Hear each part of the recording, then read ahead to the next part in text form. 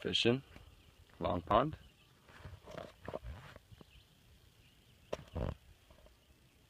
Not all that big. First catch of the day.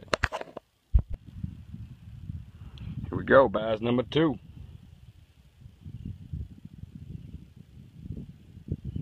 Couple of pounder. He was hungry.